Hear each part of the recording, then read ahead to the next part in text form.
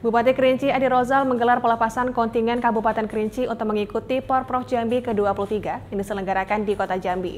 Adi Rozal berharap kontingen Kabupaten Kerinci dapat meningkatkan prestasi, menjunjung tinggi sportivitas, serta menjaga kesehatan dan kebugaran tubuh. Bupati Kerinci Adi Rozal kemarin melepas kontingen Kabupaten Kerinci untuk berlaga di ajang Pekan Olahraga Provinsi Jambi ke-23 tahun 2023 yang digelar di Kota Jambi. Tim Kabupaten Kerinci yang diberangkatkan terdiri dari 347 atlet, 40 ofisial, dan 37 pelatih untuk mengikuti 32 cabang olahraga. Adi Rozal berharap kepada seluruh atlet sebagai duta Kabupaten Kerinci untuk tetap menjaga kesehatan, meningkatkan prestasi, dan berjuanglah dengan maksimal, dan juga menjunjung tinggi sportivitas demi untuk mengharumkan nama Bumi Sakti Alam Kerinci. Adi Rozal juga memberikan motivasi kepada seluruh atlet bagi yang berprestasi akan diberikan suatu penghargaan berupa bonus nantinya. Dan kepada pelatih, ofisial dan semua yang terlibat untuk tetap menjaga kekompakan dan menjaga nama baik Kabupaten Kerinci. Hari ini kita melepas kontingen uh, atlet Kabupaten Kerinci yang ikut berlaga dalam ajang Porprov Provinsi Jambi tahun 2023. Tadi sebagian ada yang sudah uh, ikuti pertandingan di Jambi dan hari ini uh, kita lepas secara resmi.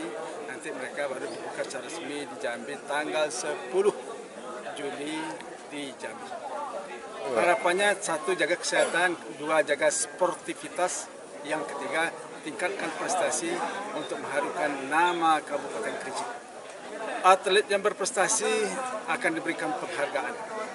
Ofisial pelatih satu tetap menjaga uh, kekompakan para atlet, kemudian jaga kesehatan atlet, kemudian juga jaga menu atlet. Adi Rozal menambahkan, atlet yang dikirimkan mengikuti Porprov Jambi adalah putra-putri terbaik Kabupaten Kerinci yang telah diseleksi sesuai dengan cabang olahraga yang diikutinya. Sementara itu, Ketua KONI Kabupaten Kerinci, Deki Elmitas mengatakan, Sebanyak 347 atlet yang akan mengikuti 32 cabang olahraga. Untuk berlaga di ajang Porprov Jambi diharapkan agar nanti dapat tampil maksimal. Deki Almitas juga mengaku atlet Kabupaten Kerinci yang diturunkan di ajang Porprov kali ini asli berasal dari Kabupaten Kerinci dan tidak menyewa atau membayar atlet dari luar daerah. Dan ia pun tidak memasang target kepada tim Kabupaten Kerinci. Yang terpenting adalah semua atlet harus bisa tampil maksimal dalam kondisi yang fit dan semoga dapat memperoleh hasil yang optimal. Atlet diberangkatkan 347 atlet 40 official 37 eh, pelatih target kita maksimal eh, karena kita dalam hal ini ya saya rasa maksimal semuanya berasal dari Kabupaten Kerinci. Semoga atlet Kabupaten Kerinci berjuang secara maksimal mendapatkan hasil yang optimal tentunya. Amin.